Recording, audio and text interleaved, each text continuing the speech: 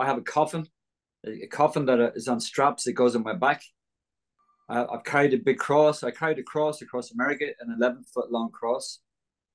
Um, so we'll have the cross and the coffin, and the coffin has a door in it. So everybody, what are you doing with the coffin? People stop. Sometimes I can't walk down the street. There's that many people stop me. And I say, well, you want look, open the door, see what's in the coffin. So they open it up, and the door is about that size. They open, look in, and have a mirror in it. And they go, oh my God, I can see myself in the coffin. And it freaks people out a little bit. And say, well, yeah. I say, one day you're going to be in one of them.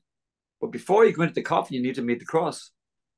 You need to meet Christ. Let me talk to you just for a minute. But the reality is, because that startled you, that's giving you a shock.